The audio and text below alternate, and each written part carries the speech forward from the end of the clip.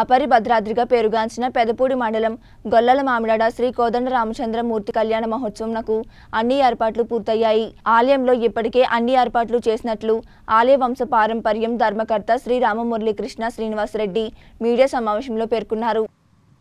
ఈ నెల తొమ్మిది నుండి పదిహేనవ తారీఖు వరకు జరగనున్న శ్రీ కోదండ రామచంద్రమూర్తి వారి కళ్యాణ మహోత్సవంకు అన్ని ఏర్పాట్లు చేస్తున్నట్లు ఆయన తెలిపారు. భక్తులందరూ కోవిడ్ నిబంధనలు పాటిస్తూ స్వామివారిని దర్శించుకుని మొక్కుబడులు సమర్పించుకోవాలని ముందుగా దూర ప్రాంతాల నుండి కళ్యాణం తిలకించేందుకు వచ్చిన భక్తులకు ఎలాంటి అసౌకర్యం కలగకుండా స్వయంగా అన్ని ఏర్పాట్లు చేస్తున్నట్లు తెలిపారు. భక్తులందరూ ఈ కళ్యాణ మహోత్సవం తిలకించి తీర్థ ప్రసాదాలు స్వీకరించి కళ్యాణం అనంతరం అతి ప్రాముఖ్యంగా ఇచ్చే స్వామివారి కళ్యాణ తలంబ్రాలను స్వీకరించవలసిందిగా ఆయన కోరారు.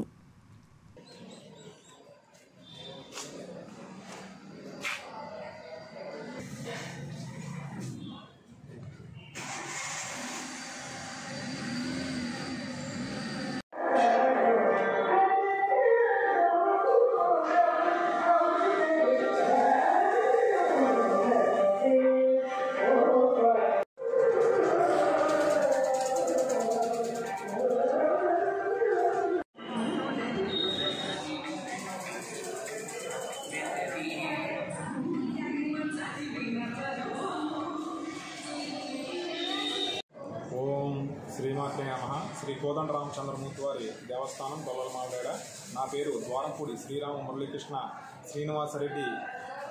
వంశం పారంపర్య ధర్మకర్తగా ఈ గుడిని ప్రవర్తి చేయడం జరుగుతుంది.